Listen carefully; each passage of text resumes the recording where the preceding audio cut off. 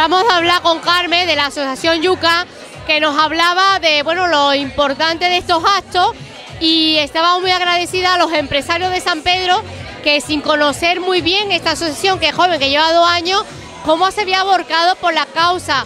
Y aquí vemos un vivo ejemplo también de Electrochollo, que es uno de los patrocinadores de este evento.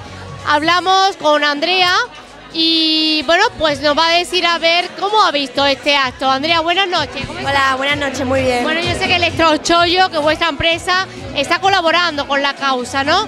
¿Cómo ves este, esta solidaridad por parte del pueblo de San Pedro? Eh, bueno, pues una causa benéfica. ¿Cómo la habéis visto? Pues la veo muy bien, ya que está muy bien hecho de colaborar con esta asociación y tal.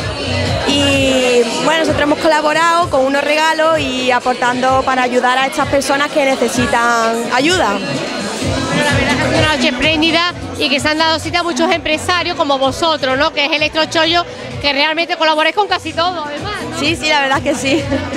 Pero aquí, Nos gusta colaborar.